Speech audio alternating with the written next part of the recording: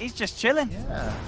Too bad they changed the level 10 talent. Otherwise a good right click. Here Hero. we go. They're going in onto Puppey. Uh, four heroes. Can he? Oh, okay. All right, it takes a lot. They do get the kill. Oh, oh. look at this ult. Oh, yes. YapzOr. Oh, it's going to get free. Oh, oh, what a combo.